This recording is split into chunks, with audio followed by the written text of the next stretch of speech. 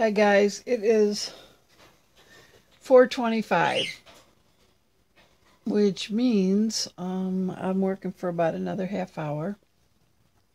Right now we're having thunder and lightning. Right now we're having thunder and lightning. Um, Pete went to the doctor, went to the clinic this afternoon because he his last few days his glands and everything got all swollen like mine were for those I don't know two two and a half maybe even three months. Anyway, so um, Heather, my doctor had put me on antibiotics, and so um, after two weeks of augmentin, that worked. And so he started having it, and I said, "Don't wait two or three months like I did, you know, and have painful swollen glands. Just go." So he went to the clinic today, and now he is out metal detecting, um, and it's thundering out that way.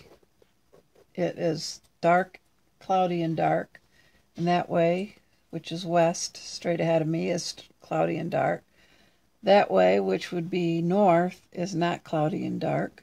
In fact, it looks like the sun is trying to show in that northerly direction. Behind me, obviously, I can't see. I have two dogs laying next to me. I think I'm going to make salmon for dinner. Right now, I'm so hungry I can hardly stand it.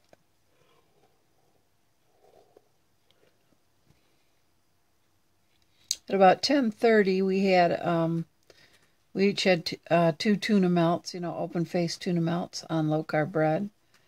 That's pretty much all I've eaten. Oh, wait, no. A couple hours ago,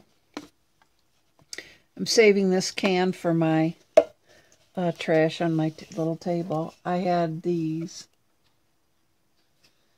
Uh, I have no idea what they are, but this whole can only has 12 carbs in it.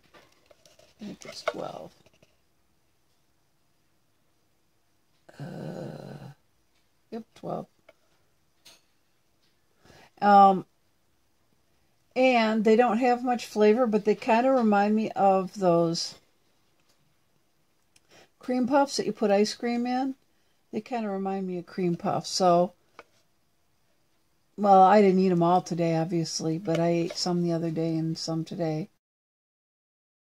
So there's something to chew on. They're not really filling. They're not really nutritious, but uh, a couple hours ago I was really hungry. Well, actually, it's probably been about two and a half hours. I was really hungry, so I ate the rest of these in this can. Now I'm starving.